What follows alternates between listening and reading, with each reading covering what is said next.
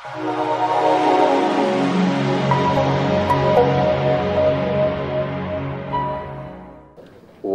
ముఖం చూపించలేక ప్రజల్లో ట్వీట్లో పలుకుతున్న నాయకుడు ఆయన.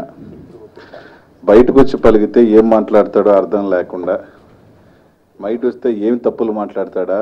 ఆ ట్వీట్లు కూడా ఆయన చేస్తున్నాడా? పక్కన వాళ్ళు చేతపడి చేస్తున్నాడా కూడా తెలియదు. ఎందుకంటే రాస్తే మళ్ళీ తప్పులు ఆడ తడకలు పోతాయని తెలియని వ్యక్తి కూడా ట్వీట్లు చేస్తుంటే ప్రభుత్వం మీద జోకులు వేస్తాం. ఎందుకంటే ఈరోజు జగన్మోహన్ రెడ్డి గారు ఒక క్లారిటీగా రాయలసీమకు నీళ్ళు అందించాలా అని చెప్పి ఏదైతే ఒక రెండు స్టేట్స్ మీద డిస్ప్యూట్స్తో జీవితాంతం నడిపే కన్నా కూడా ఒక కార్డియల్ రిలేషన్షిప్ ఉండాలా? ఎందుకంటే మన ఆయనకి ఎప్పుడూ ఒకరితో కిలుక్కోవటం ఒకరితో కొట్లాట. ఎవరితో సఖ్యంగా ఉండం కదా? కాబట్టి అలా ఉండకూడదు. రెండు రాష్ట్రాలు అన్నతమ్ములుగా విడిపోయాం. అన్నతమ్ములుగా ఎప్పుడూ కలిసి ఉండాలి కానీ ఎప్పుడు కూడా కొట్లాడకూడదు కొట్లాడుకుంటూ సమస్యలు తెంచుకోకుండా ఎక్కడైనా కూడా ఒక సమస్య ఉన్నప్పుడు దాన్ని పరిష్కరించుకోవాలని ముందుకు వెళ్ళాలి కానీ ఆ సమస్యని పెంచుకుంటూ పోతే జీవితాంతం కూడా ఎప్పుడు కూడా సమస్య అనేది తెలదు. సో దాంట్లో ఇద్దరు ముఖ్యమంత్రులు కూర్చొని గోదావరి నీళ్ళు ఏదైతే ఎక్సెస్ వాటర్ వెళ్ళిపోతుందో దాన్ని ఏ విధంగా తీసుకొని రాయలసీమ ప్రాంతానికి మొత్తానికి అలాగే అన్ని ప్రాంతాలు కూడా నీళ్ళు లేకుండా ఇబ్బంది దాన్ని ఒక తీసుకుంటే దాని మీద కూడా ఏడుపు. ఎక్కడ ఏం చేస్తామో ఎక్కడ ఏదైపోతుందో అని ఒక భయం. ఎక్కడ లాంగ్ స్టాండింగ్ పెండింగ్ ఐదు సంవత్సరాల నుంచి విభజన జరిగిన తర్వాత ఐదు సంవత్సరాల నుంచి ఏదైతే పెండింగ్ ఇష్యూని సెటిల్ అయిపోతే ఎక్కడ జగన్మోహన్ రెడ్డి గారు మా ముఖ్యమంత్రి గారికి పేరు వచ్చేస్తుందో ఒక భయం. ఈ విధంగా రకరకాలు. ఈ విధమైన ట్వీట్లు ట్విట్టర్ చిలక ట్విట్టర్ పలుకులు బయటకు వచ్చి నిలబడి కనీసం ఓడిపోయి నెల రోజుల్లో కనీసం ఏ రోజు జనాలకి వచ్చి అడుగు పెట్టలేని వ్యక్తి కూడా ఈ రోజు మా నా మా ముఖ్యమంత్రి గురించి మాట్లాడుతున్నాడంటే బాధేస్తుంది. ఈరోజు ఈ ఒక్క నెల రోజుల్లోనే ప్రజలందరూ కూడా చూశారు how government is working. CM గారు ఎంత ట్రాన్స్పరెంట్గా పోతున్నారని. మీ జీవితంలో మీ ఐదు సంవత్సరాల ముఖ్యమంత్రి జీవితంలో ట్రాన్స్పరెన్సీ అనేది లేదు. ట్రాన్స్పరెన్సీగానే తావే లేదు. ఆ విధంగా గడిపిన ప్రభుత్వం మీది కాబట్టి ఈరోజు గవర్నమెంట్ స్పష్టంగా ఉంది. రెండు గవర్నమెంట్లు కూడా సంబంధించిన అన్ని ఇష్యూస్ కూడా సెటిల్ చేసుకుంటాం. ఒక మంచి కోడియల్ రిలేషన్స్తో ముందుకు వెళ్తాం. ఈ ఐదు సంవత్సరాలలో ఖచ్చితంగా రెండు మూడు సంవత్సరాల్లోనే అన్ని రాజశేఖర రెడ్డి గారు పెట్టిన అన్ని ప్రాజెక్ట్స్ ఫుల్ అవుతాయి అడ్మినిస్ట్రేషన్లో కూడా ఎక్కడ చూసినా అవతవకలే ఎక్కడ చూసినా అప్పులే.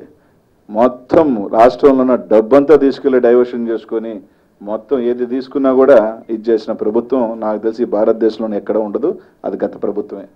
అన్ని కరెక్ట్ చేసే పనిలో నెల రోజులైంది థర్టీ డేస్ వచ్చితే ముప్పై రోజుల లోపల ఎన్ని కరెక్షన్ చేసుకుంటూ ఇందాక మా మంత్రి గారు చెప్పినట్టు మీరిచ్చిన దానికన్నా కూడా మీరు ఇచ్చిన దానికన్నా మీరు చేయాల్సిన పని మర్చిపోయి మీరు సక్రంగా చేయలేకపోతే దాన్ని కూడా మేము రెక్టిఫై చేసుకొని ఒక వన్ మంత్లో మీరు ఇచ్చిన దానికన్నా కూడా మేము ఎక్కువ సప్లై చేస్తే కూడా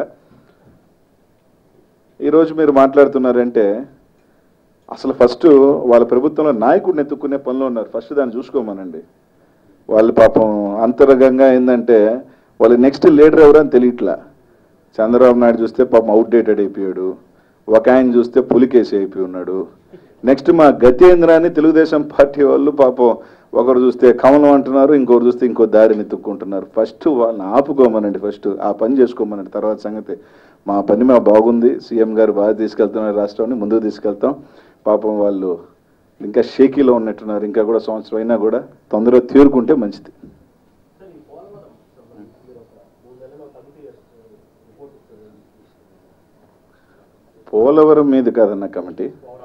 ఓవరాల్గా మూడు నెలలు కూడా కాదు. That committee is forty five days లోపల ఏదైతే అన్ని సంబంధించి it is not only irrigation projects CRDA కానీ ఎనీ ఇంజనీరింగ్ కానీ అన్నిటి మీద కూడా ఒక కమిటీ వేస్తున్నాం. All departments it's not related to only irrigation so ఇవన్నీ కూడా ఒక ఫార్టీ ఫైవ్ డేస్ లోపల అన్నీ కూడా ఎక్కడ ఎక్కడ అవకతవకలు జరుగున్నా ఎక్కడ అవకాశం ఉంటే మనము ఎస్కలేషన్ని తగ్గించి బడ్జెట్ డబ్బులను తగ్గించి ఆదా చేసి మళ్ళీ రివర్స్ టెండరింగ్కి వెళ్ళొచ్చు అనే ఒక విధానాన్ని తీసుకునే దాంట్లో వేసాం కమిటీ.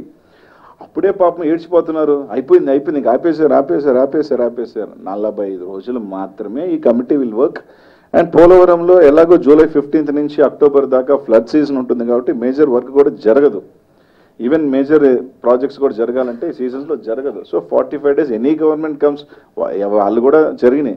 నలభై ఐదు రోజుల లోపల రాష్ట్రంలో ఉన్న ఆల్ మీద ఎక్కడైనా ఒక టెన్ పర్సెంట్ తగ్గింది అనుకోండి. ఇప్పుడు పదివేల కోట్లలో పది పర్సెంట్ వెయ్యి కోట్లు ఆదానే కదా. Thousand crores you can do wonders so దానికి సంబంధించి ఫార్టీ ఫైవ్ డేస్ వేసాం ఇది అన్నికి సంబంధించి. Not only related to Polavaram.